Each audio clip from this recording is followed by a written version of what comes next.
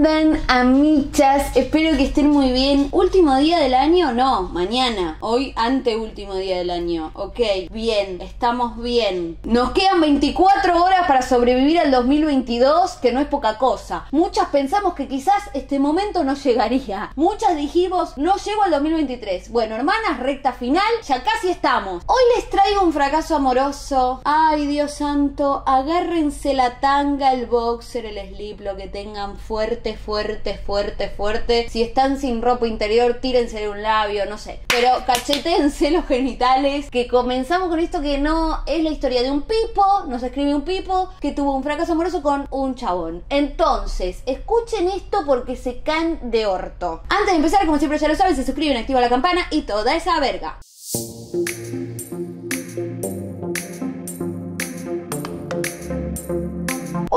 Hola Pipis, me llamo Max, podés decir mi nombre, tranqui. Hoy les vengo a contar mi fracaso amoroso. Comencemos. Esta historia empieza en inicio del 2020. Le vamos a poner a él Adrián, 31 años, y yo, 23. Esto empezó por un mensaje en Instagram. Él me dio follow y yo se lo devolví. Me reaccionó una historia y empezamos a hablar. Era la conversación típica. Nos contábamos cosas de nuestro día a día y cosas así. Eran llamadas, mensajes, fotos así. Full beboteo, Max. Full beboteo, Pipo. Te entiendo, me ha pasado. Arre. Somos todas. Luego de unos meses de tanto hablar, él me pide ser su novio y yo le digo que no. No quería ser su novio porque yo hacía un par de meses que estaba soltero y estaba en la putería a más no poder. Pará, pero meses de hablar y que no, no se habían juntado, no habían garchado nada y él ya te propuso ser su novio, así como relación virtual, ponele, no me queda claro esto. Luego de eso se borró un par de meses y después me vuelve a hablar. Dato a color, hasta el momento todo nuestro contacto era a través de chat y llamadas. ¡Ah!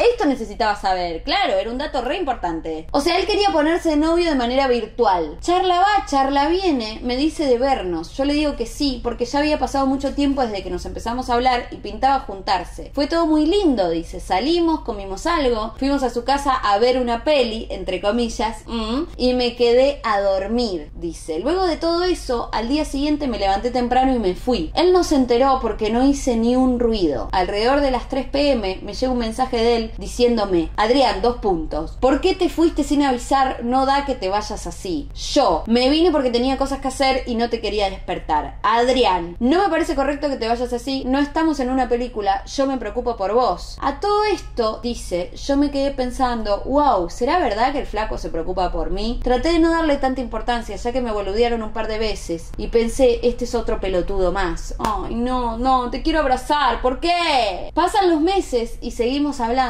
Y él siempre estaba diciéndome que quería algo serio conmigo. Que si yo le doy la oportunidad, podríamos ser felices juntos. Yo no le creía un carajo, la verdad, porque sabía que era medio gato y que no se cambia por alguien. Más si no se cambia porque si no uno quiere hacerlo. Lo leí como el orto, pero se entendió el concepto, ¿no? Perdón. A todo esto, él se cansó de mí y me dejó de hablar. ¿Eh?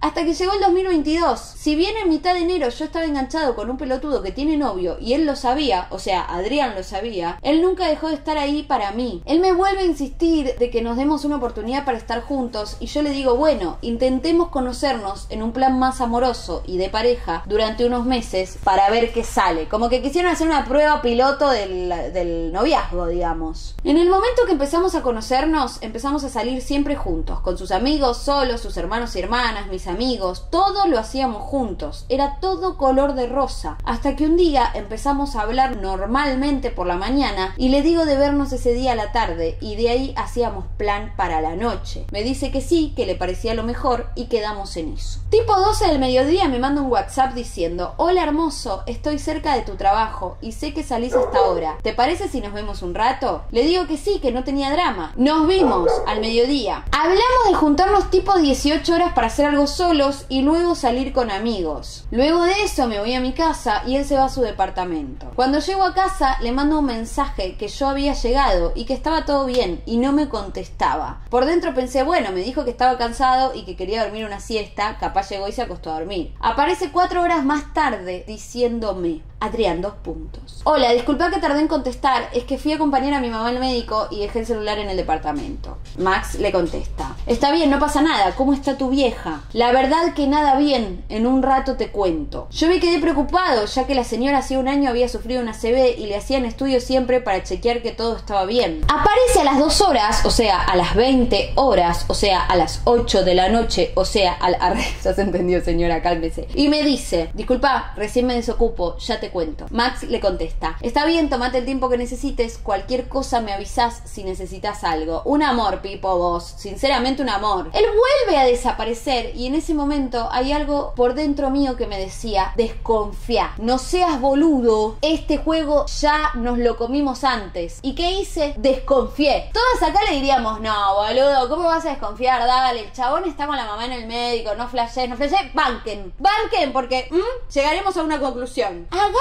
Y le mando un mensaje a mi mejor amigo y le digo, che, te jodes si me prestas tu cuenta de Grinder o Grinder sería, creo, pero ponele que así. Es una app de citas gay, como Tinder. Me la presta y entro a revisar. Y adivina quién estaba. ¡Sí! ¡Sí! Ahí lo tenés, al pelotudo. Adrián, le mando un mensaje desde la cuenta de mi amigo, me responde y le paso fotos de un amigo que ya no vive en mi provincia. Espero que tu amigo te haya dado consentimiento para pasar esas fotos, ¿no? Universo, por favor. Le digo para juntarnos y él accede. Yo estaba que tiraba fuego por todos los orificios de mi cuerpo. Ay, no, Amicho, no, no, no. Mientras él te decía que estaba en la clínica con la madre media muerta, en realidad estaba arreglando para ir a coger con otro. No, no, no, esto es un montón. Le pregunto en el chat si tenía forro que traiga y me dice, sí, sí, yo llevo, no te preocupes. Ay, Fia cuando llegó y me vio. No sabía dónde meterse. En ese momento me desilusioné tanto que quería llorar pero no lo hice, no por hacerme fuerte ni por vergüenza, sino que no quería transmitirle que él me importaba en lo más mínimo. Le dije de todo pero tranquilo, le dije que él fue una pérdida de tiempo, que si hubiera sabido antes que él iba a estar con todo el mundo, yo no hubiera aceptado estar con él y que diga que su madre estaba mal, me parecía la peor asquerosidad que se podía hacer. Estoy de acuerdo con vos, Pipo, porque el chabón te, la remó, te la remó, te la remó, que quería ser tu novio, que quería algo serio, que le des una oportunidad, que no sé qué, que no sé qué, y después está en Grinder todo el día ahí buscando chota, boludo. No se puede así. Hubiera sido sincero desde el principio. No, me calenté. Y encima usar a la madre media muerta, pobre. La vieja que estaba ahí mal de salud. Él se puso a llorar y me decía que lo perdone. Ah, no, de manual, le falta vomitar. Te digo en serio. Yo lo miré y me reí y le dije, ojalá en mi vida te vuelva a ver. No voy a mentir, dice, por dentro estaba destrozado y quería llorar, pero decidí esperar a llegar a casa para hacerlo. Ay, no, te amo, Max, me siento identificada cuando aguantás. Igual yo nunca aguanto, siempre me largo a llorar en el momento, pero es mi intención. Me digo, aguanto, lloro en casa, lloro. Escándalo, drama, Queen. Hace un par de días de esto y la verdad que no se lo conté a nadie aún. Ay, no, somos las primeras en saberlo. Y cada vez que me acuerdo de todo lo que queríamos hacer, me dan ganas de llorar de nuevo. Pero sé que no volverlo a hablar es lo mejor Ay, no, te quiero abrazar mucho, Pipo. Espero que esto no sea muy largo, las aprecio mucho, Pipis, y espero que puedas leerme. Gracias por hacerme reír siempre, te sigo desde que empezaste en YouTube. ¡Ah! Re dramática era. No, pará, siento que igual, o sea, es una cagada lo que pasó. No voy a fingir optimismo porque no, es una gran mierda lo que pasó. Pero está bueno que haya sucedido ahora, como en esta prueba piloto, y no que por ahí vos hayas entrado, te hayas comido el cuento y el chabón estaba en Grinder, dele que dele, revoleando la poronga, ¿entendés? Como está bueno darse cuenta a tiempo y poder salir de esa situación. Y ahora nada, gordo, duelo, tanga roja o no sé qué usás, boxer, slip, lo que quieras, un hilo dental, lo que venga. Y ya, ya vendrán tiempos mejores, amor. Como que lo importante para mí es que vos tuviste la fortaleza de salir de este vínculo en el que el chabón te mentía en la cara, se hacía la víctima, te prometía cositas que mm, después no. Como a mí me parece que estuviste muy bien. No sé, estoy, estoy medio optimista. El fin de año me pega, me pega para ese lado. No sé qué pasó, chicas. O sea, Adrián un sorete mal cagado, te digo la verdad. Pero vos sos un rey, mi cielo. Vos sos un rey. Vos vas a estar. Vos no necesitas este sorete en tu vida, Vos olés perfume importado, querido. No puedes andar con el olor a mierda de Adrián en el cuerpo. Te lo pido, amor. Estás por estar bien. Estás por estar bien. Estás por estar bien. Bueno, reinas, déjenle un mensajito a Max desde lo más profundo de nuestros corazones para ayudarlo a transitar este duelo. Porque sí, Max, hay que hacer duelo, hay que entangarse y hay que volver a salir a la vida. Es así, cuando quieras, a tus tiempos, mi rey, cuando vos lo sientas, y acá estamos nosotras para abrazarte mucho, mucho, mucho y para reírnos de la desgracia, porque esto es esta comunidad también, esto es esta comunidad, qué sé yo, el pelotudo, el pito duro cayó, se perdió un tipazo como vos por ser un pito duro de querer ir a cogerse a cualquiera de Grinder. Escuchame una cosa, me llega a escuchar mi amigo Dani diciendo Grinder y no Grinder y me caga palo, pero, pero bueno, eso sea así. O sea, a mí no me piden que pronuncie bien las cosas. Bueno, amichas, esto ha sido todo. Déjenle un mensajito a Max y nos vemos la próxima mañana. Último video del año. ¿Está bien lo que estoy diciendo? Es correcto. Y encima acá hay sábado. O sea, despedimos el año con un fracarrata.